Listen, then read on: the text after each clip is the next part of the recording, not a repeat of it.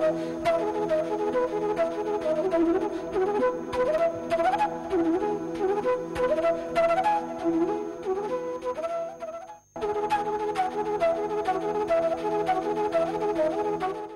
friends, good afternoon and welcome to EduSat Live Lectures. Dear friends, today in computer sciences we will, we will be talking about radio propagation for wireless communications. To discuss this topic we have with us our subject expert Dr. Adwitiya Sinha. Dr. Sinha is assistant professor in Department of Computer Sciences in an eminent university in National Capital Region. Without further ado, I would like to welcome ma'am to our studios and request her to start the lecture. Welcome ma'am. Thank you. Uh, hello viewers. Today we are going to discuss on the topic uh, radio propagation. That is we will discuss about different impacts that radio propagation has on wireless communication, its different mechanisms and models. In this lecture, uh, we'll start with an introduction to wireless communication then uh, we'll know what actually propagation is in context of wireless radio.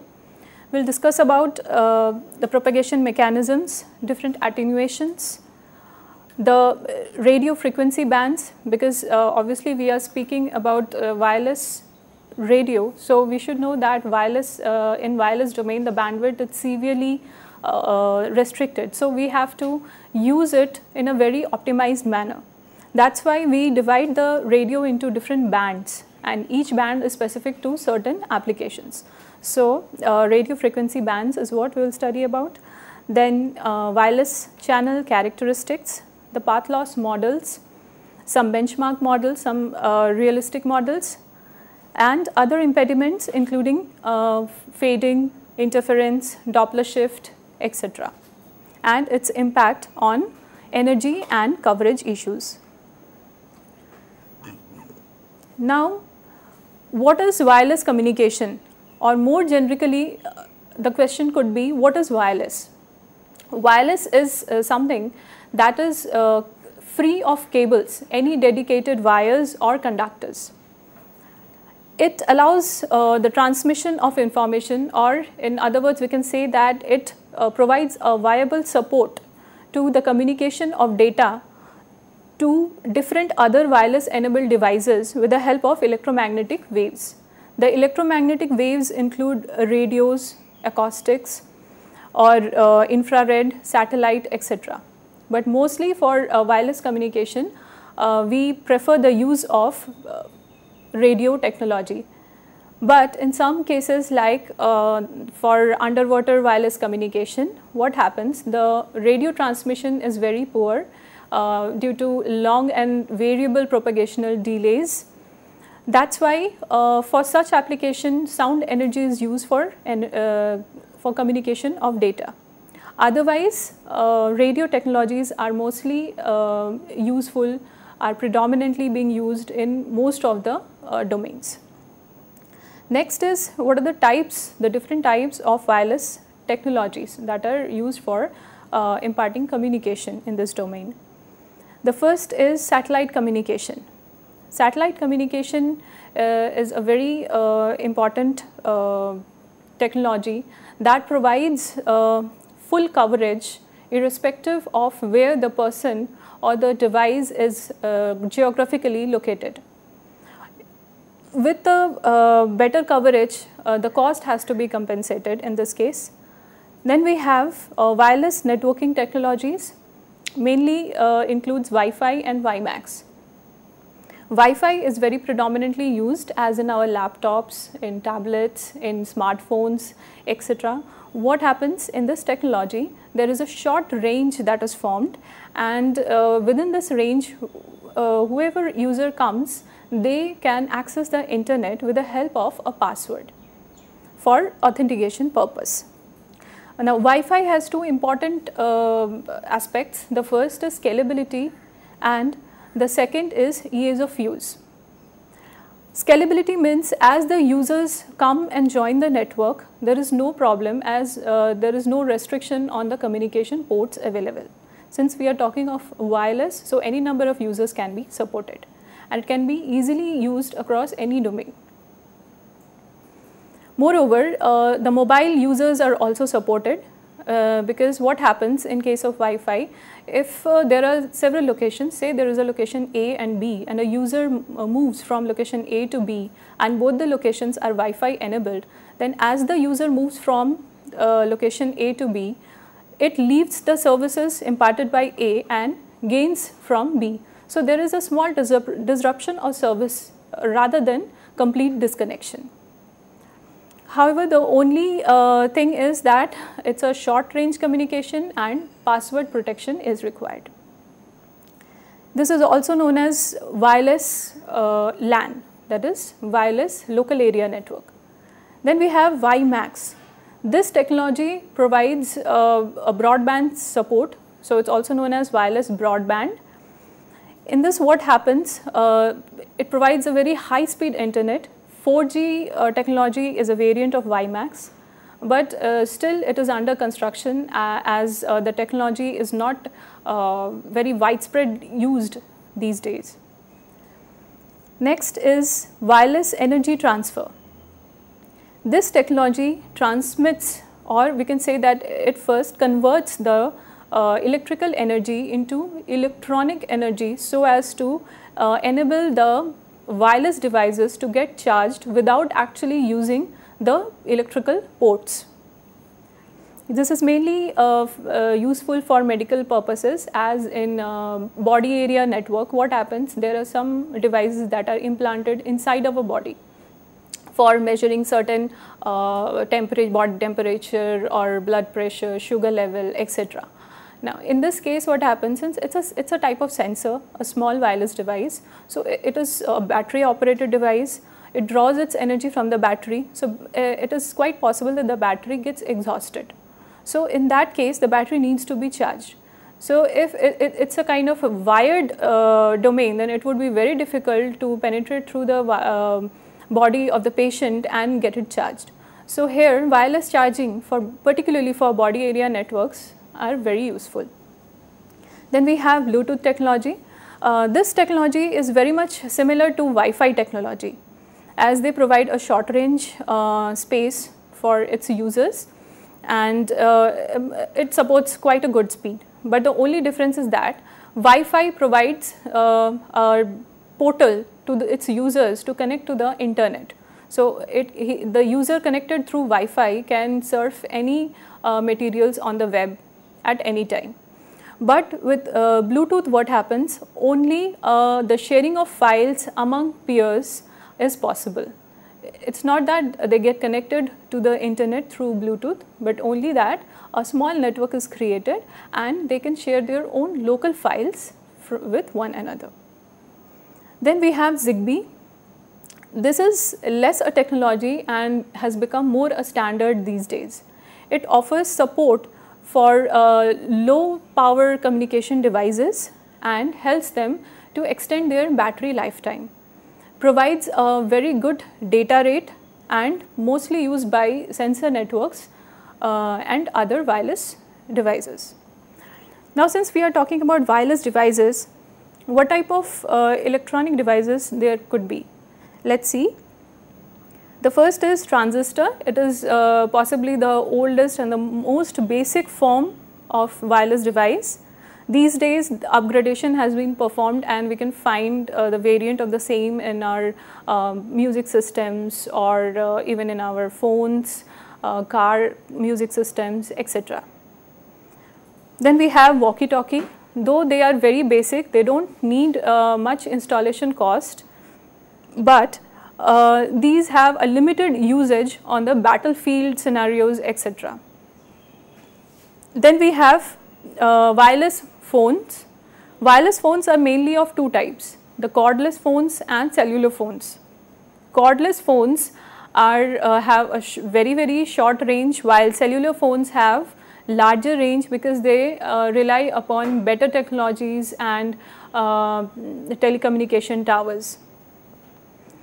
Then the remote devices, they are very predominantly used again in our daily lives as uh, we operate television or air conditioning or any game systems etc. What we do, we are very uh, habituated of using a remote with us.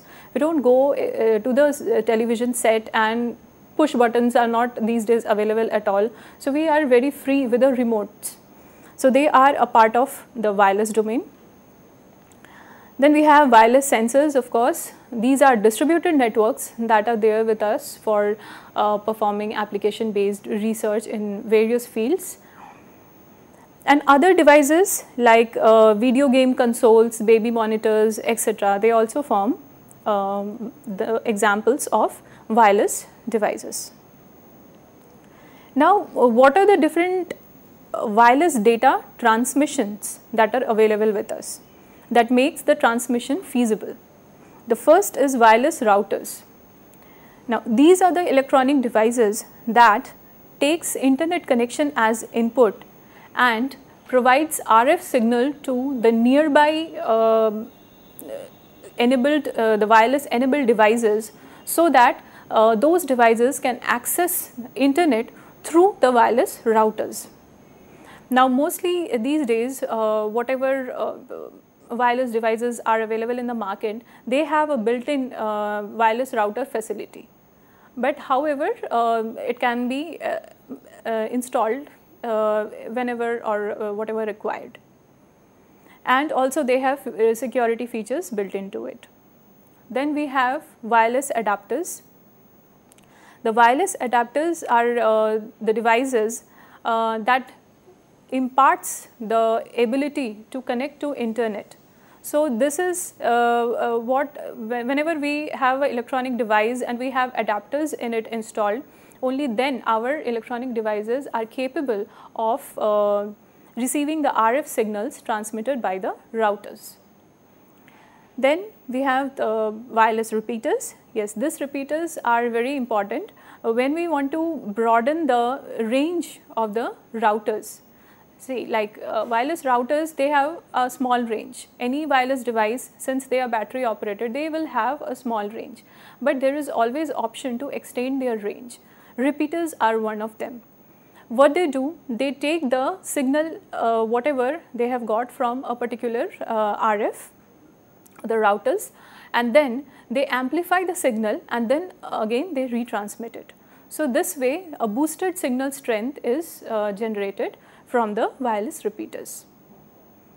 Then we have microwave. It operates on a dual uh, mode basis, satellite mode and a terrestrial mode. In, in terrestrial mode, what happens? There are uh, two or more microwave towers that communicate with each other without any hindrances, which is also known as line of sight communication.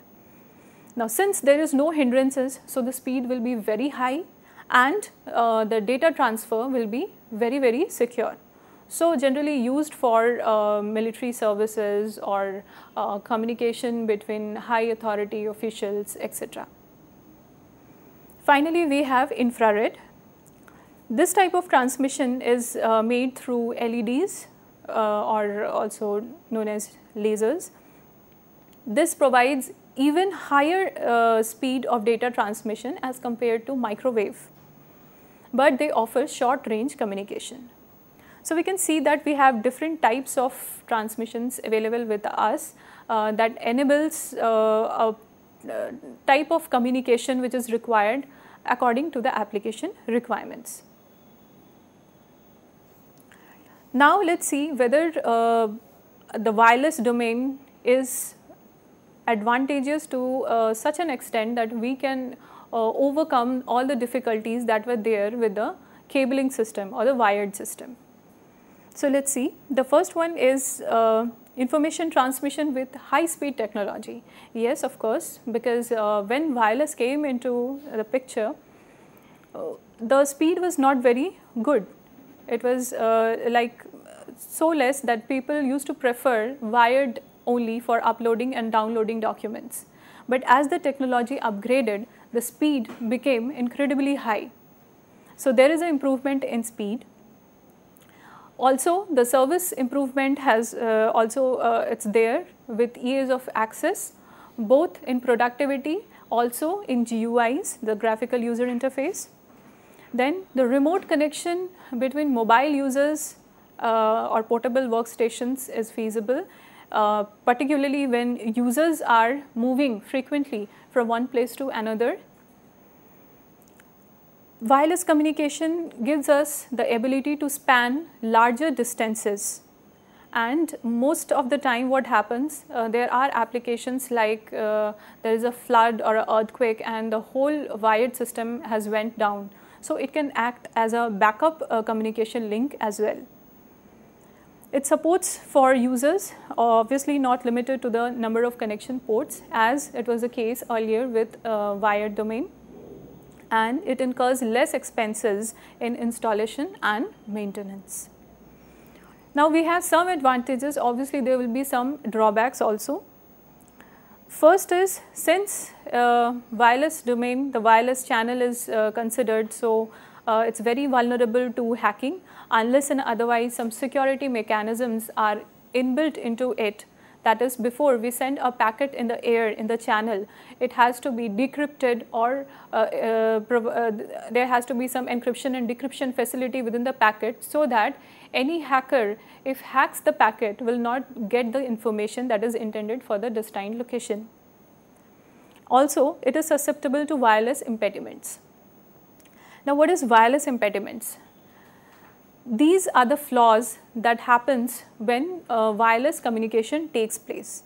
It includes different propagation mechanisms, uh, fading uh, or other impediments like uh, interference etc. So next we will be talking about all these issues.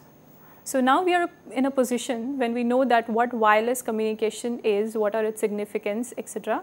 Now we uh, should know that how this uh, radio wave, the signal that we were talking about uh, propagates in the air.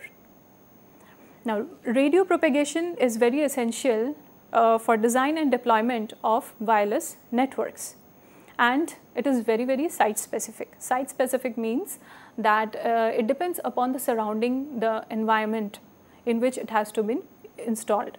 For example, the first is nature of terrain. That is if the terrain is very flat, if it is hilly or it has lots of vegetation, there are lots of hindrances. So, this is very important because a flat terrain will give you a mm, complete coverage. Then we have radio frequency of operation, how frequently uh, that in a particular area the users uh, are into wireless communication. This also plays important role. Then whether the users who are into communication uh, whether they are mobile or not. If they are mobile, then what is the rate, uh, what are the velocity that is uh, there. And also interference sources. If uh, the signal that I am sending will get hindered by some object or other, then what, what are those objects, that their dimensions, etc. Now, once we have the site specific observations with us and the channel characteristics along with the propagation uh, models that, that is the mathematical models that are developed that act as benchmark.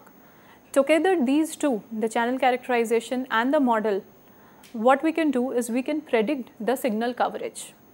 Prediction is very important because uh, the wireless devices are a bit expensive and uh, if we install it and find that the performance is not good, it will become very difficult to again upgrade or change the system.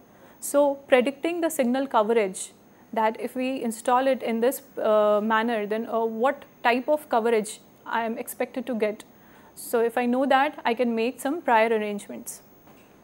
Also what type of data rates uh, we need and what we will actually get.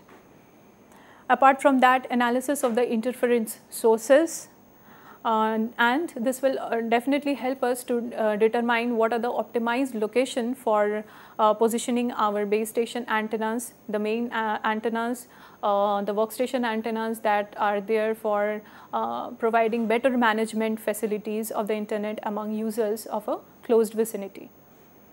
And this will overall improve the reception schemes as well because as already told that in wireless channel what happens there is a very high chance of uh, error or um, in, in the packets getting uh, corrupted. So, it is important to add some uh, decryption and encryption technologies into it so that uh, when it goes into the air even if it is uh, like tampered in some extent or other when it reach, reaches the destination the destination or the receiver should have such mechanisms to decrypt it back into the original message.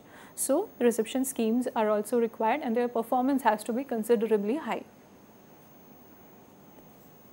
Now, what are the different propagation mechanisms? That is, uh, the ways through which the radio uh, the radio waves propagates. That is, the radio wave travels from one medium to another. If these mechanisms are controlled in a manner, then they will help us or they will even boost the signal to reach its uh, location. But if they are not managed properly, they can uh, distort the signal and uh, disturb the communication that is going on between two or more terminals. Now, the first is line of sight propagation. In line of sight propagation, the first assumption is the propagation has to be in free space, that is no hindrances. The uh, transmitter and the receiver stations are uh, in such a are deployed in such a scenario that is uh, between them there is no hindrances, no obstacles at all. So, what happened in that case? The receiving antenna is above the radio horizon of the transmitting station. Now, what is this radio horizon? As we have uh, in case of humans, we know this uh, term optical horizon. If we are standing in front of a seashore and we see, we will find that the uh, water body, whatever it can be a sea or ocean, it meets the sky and forms a straight line. This straight line is known as optical horizon that is the capability of human eyes to what extent they can see. Uh, when we are saying radio horizon it means that to what extent a radio transmitted from a particular transmitter can reach. So, if uh, the receiver is within the radio horizon uh, of the uh, transmitter then the receiver and the transmitter can communicate with each other flawlessly. So, this may happen uh, when a earth station that is a terrestrial station is communicating with another terrestrial station in a LOS manner or a terrestrial station communicating with a satellite or a satellite with another satellite. In these cases, uh, we have a LOS communication. However, this LOS communication can get hampered um, by uh, other phenomena like scattering, reflection, refraction, etc. that will come across. Now, what is scattering? When the wave travels through a medium and if it hits some object whose dimension is very small as compared to uh, its own wavelength, there is a wavelength of the propagating wave, then what happens that the wave gets scattered into various weaker outgoing signals. That is, it gets uh, distributed into smaller components. Now, these components uh, obviously their direction gets disturbed and they get uh, a very uh, different, uh, its composition gets changed. Now this happens when the wave uh, hits some street lamps or uh, some signs or it can be leaves etc. Now in the diagram we can see that uh, as one, one means line of sight propagation in line of sight propagation, we can see that it's happening between two uh, satellites, SA and SB. It's feasible between station, Earth station A uh, and satellite SA or between A and B. Both are Earth stations. And scattering happens at, uh, it is shown by arrow 2. We can see that uh, though it reaches, reaches to its location, but its uh, strength is weakened and other components are there that gets lost into the environment. Now third is reflection. Reflection happens when the radio wave hits an object uh, that is whose dimension is quite large with respect to its own wavelength. So in that uh, case what happens the wave does not get scattered but rather it bends this bending causes a phase shift of 180 degrees. Next is ground wave propagation. Ground wave propagation mostly happens due to magnetic properties or electrical properties of earth uh, or ocean currents etc. What uh, uh, happens is that ground wave uh, propagated wave they tend to bend with the curvature of the earth. In the diagram we can see that fourth shows, the fourth arrow shows uh, ground wave propagation. Next very important is diffraction. Diffraction happens uh, when it hits with an object of almost of its own size, but the composition of the object is such that the rays cannot pass through the uh, through the walls of that object. So, instead what happens the wave tends to bend at the edges of the object. So, we can see in the diagram as uh, by arrow 5 what happens here also there is a little scattering but uh, scattering is what uh, there is a uniform sp uh, splitting of the original traveling wave into different components. But here what happens major uh, the ma majority of the wave gets bent at the edge of the uh, object while a very few amount of its strength gets scattered. Now obviously it is a frequency dependent phenomena lower frequency waves tend to diffract more. Next is refraction. Refraction is a phenomenon that occurs when uh, the propagating wave hits a penetrable object that is now the object can be passed through. But what happens its optical density is different than its own as a result of which the direction changes and reduction in uh, wavelength is observed. So, these are the six uh, impediments or uh, we can say if we control it properly then it can help radio propagation. Thank you.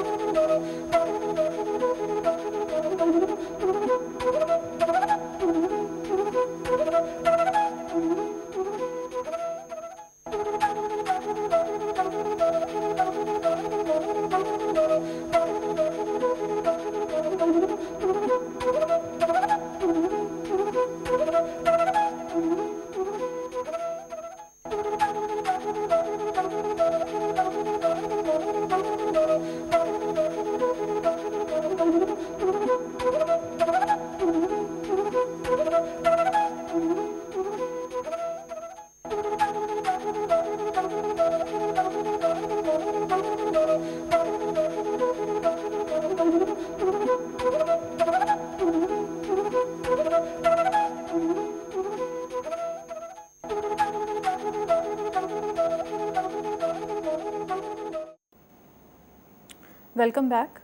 We will start uh, in this session about tropospheric attenuation. Now, troposphere is the lowest level of atmosphere as atmosphere has different layers ionosphere, exosphere etc. So, troposphere is that layer in which most of the weather phenomena takes place. It is highly dynamic and inhomogeneous. Inhomogeneous means that uh, the composition uh, has many gaseous uh, substances in it along with some uh, chemicals are also there these days pollution is so high so we find, find uh, pollutant particles etc. So, in the troposphere what happens the radio waves tend to attenuate scatter refract and also it can reflect back. The polarization of waves also takes place. Since we have um, charged electron particles on the uh, in the atmosphere, so it, it it is a, there is a quite uh, possibility that the propagating wave, the strength of the propagating wave may fluctuate, fluctuate in the sense that it may get overcharged, signal strength can increase or it can uh, get uh, like uh, its charge can also get diminished due to uh, scattering and refraction etc. So, there is a fluctuation in the signal strength level. Also this imparts a noise into the uh, propagating signal. Now, attenuation due to atmospheric absorption can be again divided into two parts. First is due to clear air and the second is due to precipitation and fog. As we have uh, seen uh, often observed that uh, in a in case there is a thunderstorm or uh, we have a very cloudy weather, what happens? The signals are not clear. It happens due to attenuation in the troposphere.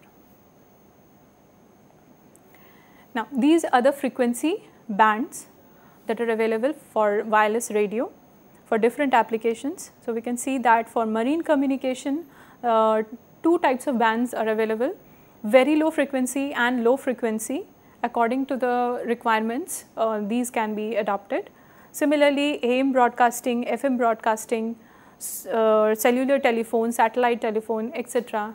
The we can see that in the table the highest frequency uh, that is uh, there is with visible light that is used for optical communication.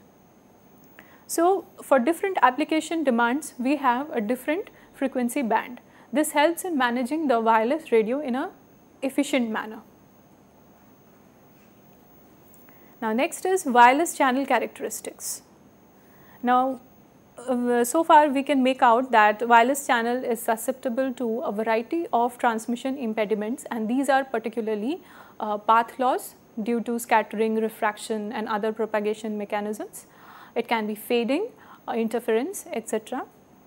Now these factors uh, what happens they restricts greatly the range of the radio propagation that is by default to whatever range a radio has the ability to propagate its, its capability is severely diminished. What else? The data rate and the reliability of wireless transmission also gets hampered. And the extent to which these factors affect the transmission again depends upon the environmental that is the closed vicinity what, what are the conditions uh, around that uh, particular uh, wireless devices takes uh, into consideration as well as the mobility of transmitter and the receiving devices. Now a transmitted signal has two components. The first is the LOS component that is goes directly from the uh, transmitter to the receiver and there is a chance that it can get deflected. That is, it can be any one of the uh, five propagation mechanisms, the first being LOS. So, this, these are known as multipath components. A ray that is transmitted can get uh, diffracted and uh, get reported to the destination or it can get scattered and report to the destination. So, we can get a, a number of uh, versions of the same uh, signal that is being originally transmitted.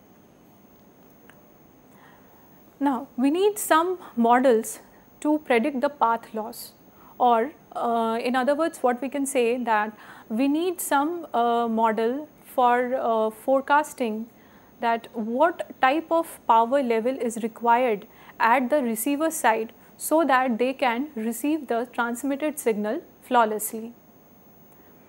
So, what a path loss model exactly does is it relates the loss of signal strength to, to, to the distance between the terminals. Terminals in this case are the transmitter and the receiving stations. So, uh, the path loss is what? It is basically a function of the TR separation distance, the transmitter and the receiver separation distance. In other words, uh, we can say that it is a ratio of the function of transmitted signal to the received signal. When we use the path loss models, what actually the radio engineers tend to calculate.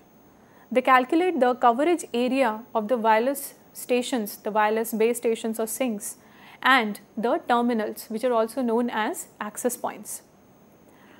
The maximum distance between two terminals in an ad hoc network can also be predetermined with the use of these path loss models. So, these are a kind of prediction models that helps the radio engineers to do some analytic part before actually uh, practically implementing the wireless environment. Now, the path loss models differ uh, due to certain dynamism of surroundings. So, uh, it is not like that we have a certain uh, set of uh, path loss models available with us. We can always create some hybridization over them. So, according to whatever the uh, environment is, whatever the constraints are with the radio engineers, they play an important role to select what type of path loss models uh, we will take. The first is free space model uh, that considers LOS communication, then two-ray model This is another uh, which takes into consideration the LOS path along with exactly one reflected path. So, free space, two ray and log distance model, these are all benchmark models. That is, they are not directly used to the environment uh, to model real world scenarios, but yes, they form strong basis for others, other model to develop. Then there are other models like log normal, Okumura, Hata model. These models are used for city based models, cities that are uh, very crowded or are, that are not much crowded uh, on the hilly areas or whatever. Uh, Ikegami model is another very important uh, one for uh, town and city based versions. Now let us start with the first one that is free space propagation model. Now what happens in this model this is a very simplest one and we assume that we have a direct path between the transmitter and the receiver without any hindrance. So there is uh, whenever a signal is transmitted we assume that ideally that signal transmits from the transmitter and flawlessly received by the receiving station. This generally does not happen but we are taking ideal situations so that uh, we can analyze the ideal behavior. If this happens, then ideally what, what the cases will be. Also, we assume that there is no atmospheric attenuation, that, that is the atmospheric hindrances uh, do not play any part and there are no multipath component. That is, the signal is only transmitting uh, through a single path. There are no multiple paths in the communication. Also, the antenna that is used for uh, the communication purpose is taken to be isotropic. Isotropic means that this type of antenna radiates uh, the signal power uniformly in all directions. Now, let us take up this image. Uh, we can see that we have a circle uh, with a radius r. Now, this uh, basically models an antenna whose coverage or the, the coverage radius is given by the small r and it is uh, centered at the uh, center of the circle. Now, the transmitting antenna is located at the center and its density is given by ratio of the effective radiated power that is PT upon the surface area of the sphere which is well known to be 4 pi r square. So, this is our total power density on the sphere. Power density means if the antenna uh, having the coverage radius as r is activated, then what area will get affected and with what strength of power. Then as a path loss model is considered, uh, what we intend to uh, get from a path loss model is the prediction of the receiver power. That is if uh, this uh, transmitter sends this type of signal, then uh, what the receiver uh, station should, what type of uh, power level the receiver station should maintain so as to catch the signal in a proper manner. So, this can be found out as a product of the power density that is we have calculated in uh, equation 1 PD and the effective aperture of the receiving antenna the this area can be given as uh, lambda square g by 4 pi. We are not going into the proof of this, we can just directly use it. And when we put uh, all these values and plug it into the equation 2, uh, we get the received power level as in equation 3. So, this gives us exactly what level of power has to be maintained by the receiving end.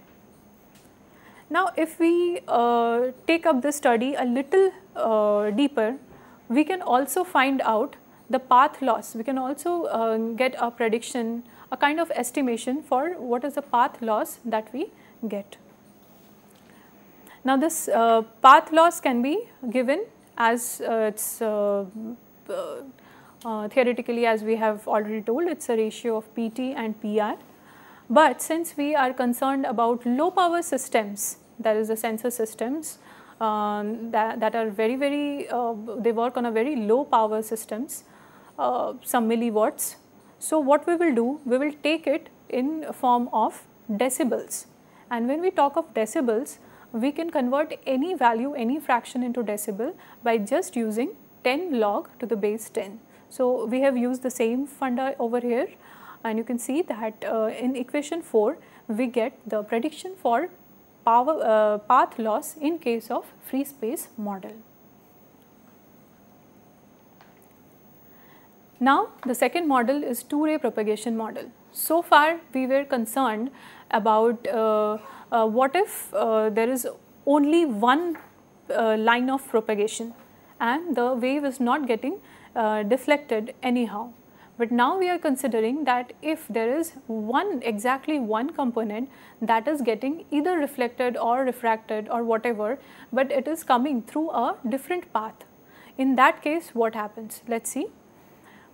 Here uh, the received signal is generally given by the formula as in 5, equation number 5, uh, though it is not very necessary to go into depth, just to know that it is a cosine component and the first is uh, given for a direct wave that is the LOS part and the second shows the ground reflected part. Assumptions that we make is that uh, the heights of the antenna has to be large enough than the wavelength of the propagating wave and the ground waves, the effect of ground waves are uh, should be absent. Since the height of the antennas are too high, so the curvature, earth's curvature is almost lacking. So, with these assumptions what we can do is we can build this uh, small geometry. So, we can see over here that HT and HR are the antenna heights of transmitter and receiver. Here what happens DD is the direct component and DR is the reflected, reflected component. So, here we apply very simple trigonometry and we get that if we want to calculate dd then what happens? Uh, we take a simple geometry over here. As you can see that this is this is a simple Pythagoras formula. Uh, since we are intended to find dd what we are doing with we are taking the square of ht minus hr and the square of r and we are doing a square root function. So, likewise we can find out the direct component and the reflected component. Once we have both the components, uh, we can just uh, uh, approximate it using Taylor's expansion and do a simple calculation to find out the difference between the reflected and the direct component which comes out as an equation uh, 11 as a product of the antenna heights and as a function of the R. Now what happens? We are also uh, interested to know the time delay that is obviously when there are two components the directed component and the reflected component. So, obviously when the reflected component reaches the uh, transmit uh, the receiver what happens there is some time delay. So, how to find the time delay? Uh, it is a very basic calculation the time is what it is distance upon speed and in this case speed, speed will be what? Speed is nothing but velocity of light. So, in this manner we find out the time delay and also we can calculate uh, omega that is angular velocity and finally whatever we have done calculation in equation 6 just plug in the values in it and we get the power uh, that is required to be maintained at the receiving end if it is following a two ray propagation model and the path loss is given by as in equation 21. And remember that these are in decibels because we are dealing with very low power systems. Now we have log distance models. Log distance uh, models are predominantly used in cases uh, where accuracy is required but computational complexity has to be kept low. Again path loss can be found out in the similar manner that is PT by PR and we can see this in equation 23. This way there are so many models available the log models, uh, the distance models etc. and it is up to the radio engineers to deploy which model uh, exactly as it is or uh, some hybridization can be used. Now let us come to fading. Fading is a uh, very important transmission impediment uh, that happens and that, that often happens and it results in fluctuation of the signal strength as it receive, uh, uh, received by the destination. This can be of two variants fast fading and slow fading. Now what is fast fading? Fast fading uh, refers to the rapid fluctuations in uh, amplitude, phase or multipath delays of received signal. That is we have already discussed that whenever a signal travels, it not only travels through the LOS, it can also travel through different paths. And when it travels through different paths, different versions are created of the same uh, source of the signal. Same uh, signal gets replicated into different versions. And these versions, since they uh, follow different paths, they arrive at the destination at different time. So, if we keep track of the time from uh, a particular uh, when the first version the first copy was received and the time period till the last was received then this duration is known as delay spread. Now, due to interference what happens the, between uh, these multiple versions there are certain error factors that get introduced. Now, which may uh, affect constructively and obviously it can often uh, be destructive at the receiver end. Now, the received uh, signal envelope that is received, why it is called envelope because we are having a number of uh, versions with us of the same signal. So, in this case what, what we need, we need some distributions to uh, simulate the behavior of the uh, waves. So, here we have Rayleigh distribution if there is no line of sight available if there is a line of sight available, for example, uh, in indoor settings for office environments, for home uh, applications, etc., then Rayleigh distribution is preferred. The other variant is slow fading. Slow fading occurs when uh, the signal is like fully or uh, to some extent uh, gets absorbed by some hindrances. But the thing is this type of obstacles may be there for some time or uh, it's like it might be mobile, it, it's not like the behavior is dynamic of such obstacles. So, this duration of fade that may uh, last for some seconds or minutes or whatever time period, uh, they affect in a very uh, poor in a very poor manner. That is the slow fading may occur when the receiver is temporarily shielded from the transmitter. This type of obstruction often creates random variation in the uh, level of the signal strength. Also, this is known as shadow fading. Now, just to summarize, uh, shadow fading, what it does, it obviously it hampers the performance uh, of the received signal and this can be uh, alleviated with the use of fade margins as a mitigation, popular mitigation technique that is uh, done or increase the transmission power level etc. And fast fading that hampers the performance by introducing bit error rates or packet error rates uh, because multiple versions are being received. So, which version to choose and uh, which to uh, not. So, it depends upon again engineering factor.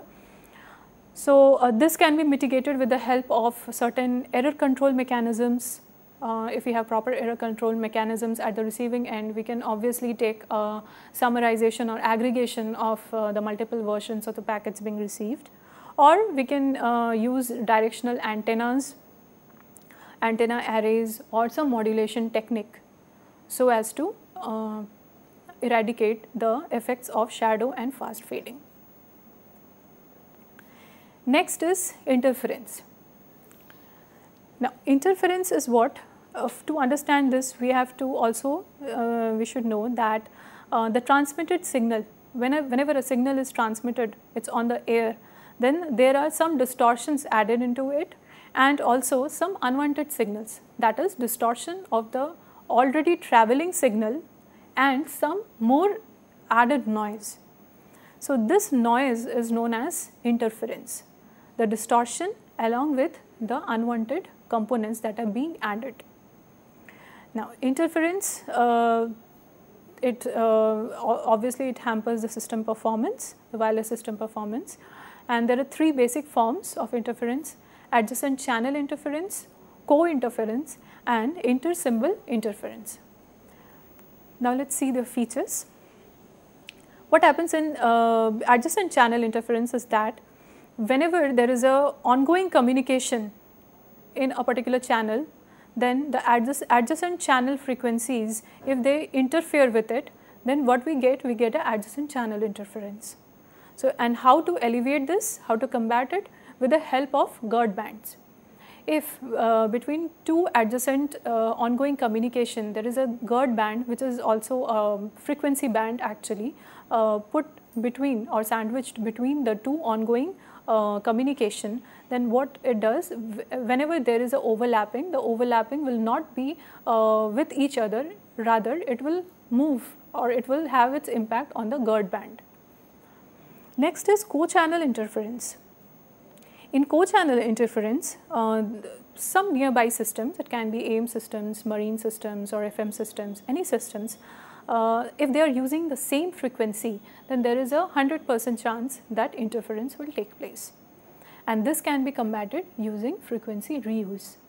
What happens in frequency reuse is that uh, the same frequency is not uh, made to use in the nearby vicinity. This is uh, very much available in cellular technology, cellular arrangement of uh, antennas, etc.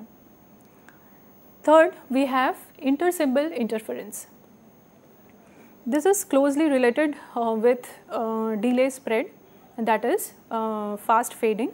Uh, as if the delay spread is very small, if the uh, duration of the uh, versions of the copy that we are receiving, if this duration is kept intendedly very small, then it becomes very difficult for the radio engineers at the receiving end to detect correctly the symbols that are being actually transmitted. So, we have to optimize that what should be the length of the delay spread. This can be uh, again um, uh, removed with the help of uh, complicated techniques like uh, adaptive equalization etc. Now, we have Doppler shift. Now, what is Doppler shift? This mainly uh, what it does is uh, the as the frequency change or there is a phase shift in the received signal or if the transmitter and the uh, receiver are mobile with respect to each other, then there is an impediment, the phenomena that happens and which is this is known as Doppler's shift. If uh, the two terminals, two or more the communicating terminals are moving towards each other, then the frequency of the received signal will be higher than the transmitted signal. And if they are moving apart, the case is vice versa, the frequency will be lower at the term transmitter part. Doppler shift is normally given by the formula uh, which is uh, V by lambda. V is what? It is a relative velocity. Remember, it is not the actual velocity, it is a relative velocity between t and r, uh, which is obviously a function of the t-r separation distance and uh, lambda is the wavelength of the propagating wave. Now, whatever we have studied so far, they uh, have some impact over the energy and the coverage. Now, let us use a very uh, simple energy model uh, using uh, or having the impact of radio propagation on it. Transmitter, we know the transmitter uh, dissipates energy to run particularly the radio electronics and the power electronics that is the uh, the radio electronics that with what power I have to transmit the transmitter uh, that should be uh, known one factor. The second factor is whether there is a requirement for amplification or not. That is if our uh, receiver is quite a distance apart then we need to amplify it. So, such transmitters should have uh, such equipped uh, capabilities that it can amplify the signal before transmitting it. And the receiver uh, unit what it does it dissipates energy to run the radio electronics alone. It is not concerned about the amplification part. It will receive whatever strength uh, of uh, signal it is being uh, intended to receive. Now, Now the power control can be used by appropriately um, setting the power amplifier obviously and it is distance dependent. So if we take some threshold distance say d0 in this case then if whatever the distance uh, obviously it keeps uh, varying uh, with respect to time. If this distance is less than threshold distance then we prefer applying the free space model that we studied just now. And in other case we apply the two ray model. Because uh, there is a chance that multipath propagation can take place. Mathematically uh, speaking, the transmission energy is a uh, summation of both the electronics part and the amplifier part. So, let us see as in equation 33 you can see that uh, ETX is what it is uh, a combination of both the electrical part E elec is what E elec is radio electronics energy. By default there are some values given to electronics energy, amplifier energy uh, for um, LOS that is free space and for multipath. So, these are the standard values that we have. So, uh, with the help of these values and if we know the uh, bit size of the packet that we are sending, we can easily find out the what type of transmission energy is being uh, consumed. Similarly, for uh, reception energy, uh, we can uh, calculate it according to equation 34. Now comes the area coverage computation. Through this computation, a person can, the radio engineers particularly, can predict that what uh, type of coverage is uh, imparted as a result of if a particular uh, wireless domain is being set up. So, here we uh, what we how to achieve uh, approach this type of problem is we calculate the probability that uh, the local average received power for distance d obviously above some threshold y. Now, uh, we have we already know that uh, from equation 36 this is already we have done according to free space path loss. When we have this value and we plug in to uh, equation 35, what we get is equation 38 that gives a uh, standardization of what type of coverage can be achieved. Moreover, we can also uh, do a further little further calculation if we uh, say that there is an antenna with certain coverage area and the coverage area is uh, assumed to be a circle. So, if a vehicle uh, that is any moving object uh, moves uh, at the worst case it is say moving at the circumference then what type of coverage it will get. So, if we have the probability with us and then as in equation 40 what we can do is we integrate it with respect to the radius and the uh, uh, whatever the angle is that is a two dimensional uh, integration can be done to find out the average of uh, the fraction of useful service area. Thank you. On that note, I would like to thank ma'am for this very enriching discussion and thank you dear friends for watching our show. Stay tuned and keep watching. Thank you.